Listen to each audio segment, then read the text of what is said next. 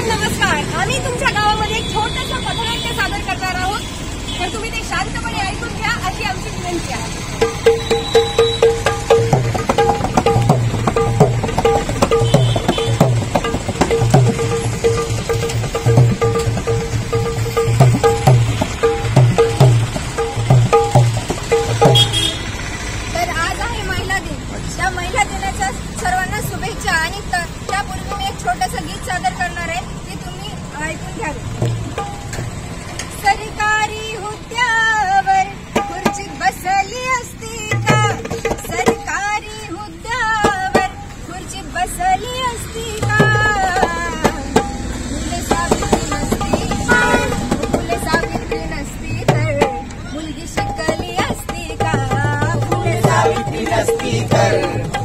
मुलगी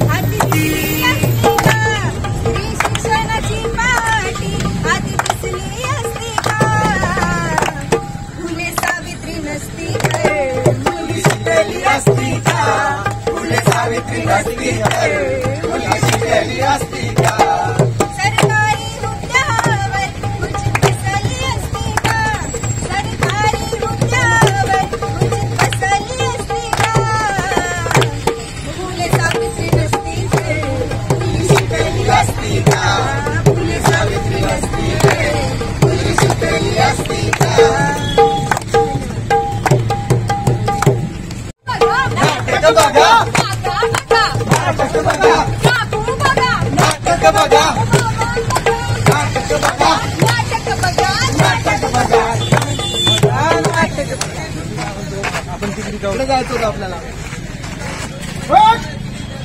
ए बापू अरे अरे अरे काय झालं काय झालं मागे मागे मागे अरे हा आता बोल काय अरे म्या भाऊ. अरे दूर थांब रे यार पागल? अरे येडे हो तुम्हाला माहिती आहे का काय कशाचं आहे कशाचं आहे कोरोना काळ आहे दूर थांब बाजू सोशल डिस्टन्स वापरा अरे कोरोना त्यांना आम्हाला पकडण्याच्या आधी आम्ही त्याला पकडायला चालल्या. अरे थांब. अरे कोरोना काय माणूस आहे का त्याला असा पकडायला. आणि माणूस नाही तर त्याला चांगल्या चांगल्याला आडवं केली की रे? मग काय? येडे हो. बरं मला सांगा. कोरोना कसा होतो? ते आम्हाला काय माहिती? आम्हाला सांगतो आता मी. हा. बघा ज्या व्यक्तीला कोरोना आहे. त्याच्या संपर्कामध्ये जर आपण गेलो. तर कोरोना होतो. फॉर एक्झाम्पल आता सोन्याला कोरोना आहे. नाहीये अरे म्हणजे समजा समजा. कोरोना आहे. तर आपण त्याच्या संपर्कात गेलो हा. काय? त्याच्यासाठी कोरोना होतो. त्यासाठी आपण. ज्या व्यक्तीला कोरोना झालाय. त्याच्या संपर्कात जायचं नाही आणि त्याच्या उडणाऱ्या थुंकीच्या थेंबाद्वारे पण होऊ शकतो त्यामुळे आपण त्याच्या संपर्कात न जाता तोंडाला मुखपट्टी बांधायची पागल झालास काय? काय झालं? मुखपट्टी म्हणजे काय तेच माहीत नाही आम्हाला. अरे येड्या मुखपट्टी माहीत नाही तुला? माहीत नाही. तू तुम्ही आत्महत्या करणार. अरे येडे हो मुखपट्टी म्हणजे अरे मग? आमच्या भाऊच्या हिरो सारखं तोंड कसं दिसेल? नाही का? अरे ते सोड. या कोरोना कोरोनामुळे फार जीव कटाळून गेलाय बघ. ना कामं नाहीत. ना धंदे नाहीत. ना बाहेर जाता ना बाहेर गेलं तर घरात बायको होती ना. त्याच्यातल्या त्याच्यात. हा. एकराचं शिकणं बंद आहे हो. हा. प्रॉब्लेम आहे का? सोल्युशन आहे आपल्याकडे. काय? काय माहीत आहे. अरे येडे हो सरकारनं आपल्यासाठी किती योजना आणल्या तुम्हाला माहिती आहे काही नाही. हे बघा जसं की आपल्या लहान लेकरांना वसतिगृह वसतिगृहाची योजना माहीत आहे. माहीत आहे मात्र त्याच्याबद्दल आम्हाला जास्त काही माहीत नाही बघा. अहो आपले लेकर वसतिगृहामध्ये आपल्याला फुकट ऍडमिशन भेटते. फुकट ऍडमिशन भेटते? हा. अहो हे सगळं तुम्ही सांगता काय? बाकीच्या लोकांना बोलू वसतिगृह तुम्हाला ऐकायचंय? अजून काय काय सुविधा आहेत ते? हो. थांबा ऐकू घालतो. हा. बोला.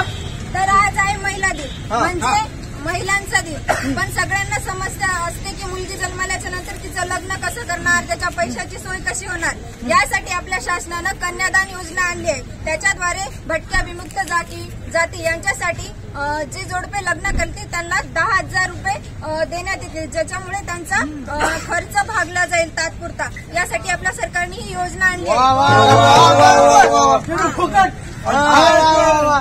अजून कोणा कोणाला काय काय माहीत आहे सांगा मला बरं. माहिती आहे एक योजना कोणती आता माहिती आहे आपल्या सगळ्या विद्यार्थ्यांना आहे की नाही मोफत शिक्षण हा, बरोबर. मोफत वसतिगृह बरोबर. हे फुकट. फुकट बरोबर. आणि आपले हे लहान लेकर आहेत की नाही हा. त्यांना तर सरकारनं टॅबलेट दिले म्हणजे घर बसला अभ्यास हा. आपण कोरोना काळामध्ये हा. वा, वा, वा, असल्या वा, वा. योजना अरे आहेत. वा, वा, आणि वा, वा, मला- मावशीला कुठून कळलं? आ, हे तर काहीच नाही वा.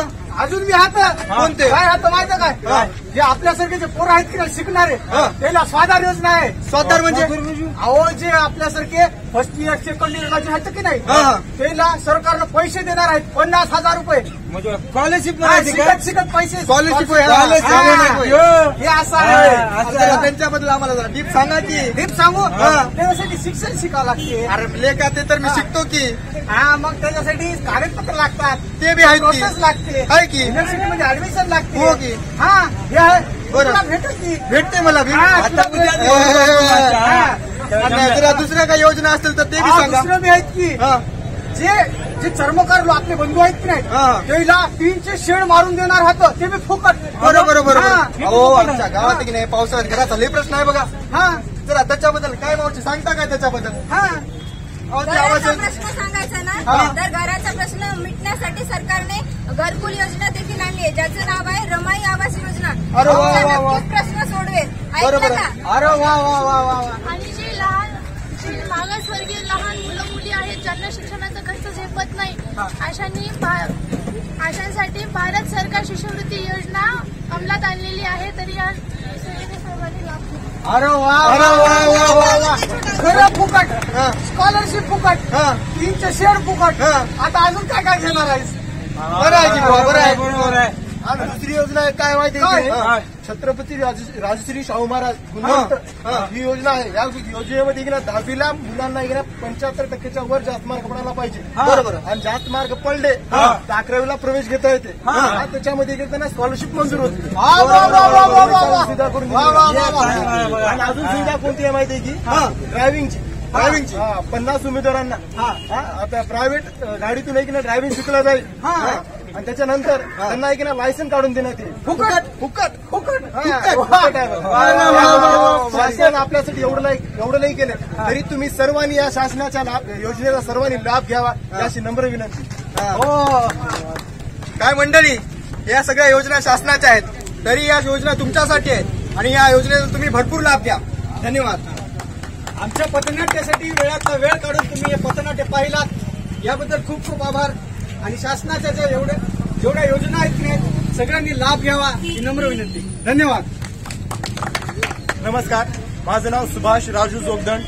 मी एम ए इलेक्ट्रॉनिक मीडियाचा विद्यार्थी आहे. माझं सेकंड इयर चालू आहे. मी नांदेडमध्ये राहतो. माझं नाव प्रज्ञा अशोक सावरकर. मी एम ए लिटरेचरची फर्स्ट इयरची स्टुडंट आहे. धन्यवाद. नमस्कार. माझं नाव शुभम शिवकांतराव कळसकर. मी नांदेडचा आहे आणि जस्ट माझं एम ए कंप्लीट झालेलं आहे. आणि मला हे आर्ट आणि कल्चर या फील्डमध्ये खूप आवड आहे. थँक्यू नमस्कार मी वैष्णवी रमेश बाजलवाड मी डी फार्मसी सेकंड इयर चालू आहे. नमस्कार मी श्रुती अकोलकर. मी माझं थर्ड इयर चालू आहे ऍक्टिंगमध्ये. मी नांदेडहून. नमस्कार मी विजय भालेराव. आम्ही सगळे विद्यार्थी आहोत आणि माझं नुकतंच एम ए झाले. आणि ह्या गोष्टीचा आम्हाला म्हणजे या सरांकडून फायदा होतोय. कैलास कैलास सर आहे त्यांचं नाव. आणि हे पथनाट्य आम्ही लोकांपर्यंत जनजागृतीचे कार्यक्रम म्हणजे घेत आहोत. आणि त्या लोकांना त्यांचा फायदा कसा होईल? म्हणजे आता जे खेडोपाड्यातले लोक आहेत काही गोष्टी आहेत त्यांच्यापर्यंत पोहोचत नाहीत. ते आम्ही आमच्या माध्यमातून तिथपर्यंत पोहोचण्याचा प्रयत्न करतो. धन्यवाद.